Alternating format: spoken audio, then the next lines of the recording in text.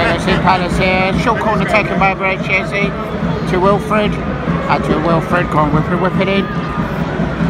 43 minutes 55. It's Crystal Palace 1, Bournemouth nil. We've well dominated the first half. Good build-up play to the goal. Chelsea scored the first goal for Palace. Come on, Palace.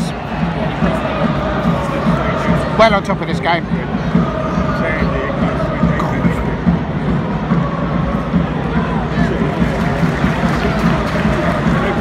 I'd expect probably maybe two or three minutes, two minutes maybe of, of extra time. Go on, go on, go on, Michael. Oh, hello. What's going on there? Bit of afters. Michael not letting it. Well done, Michael Olise.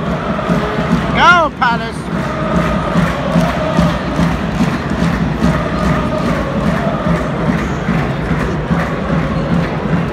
Go Palace.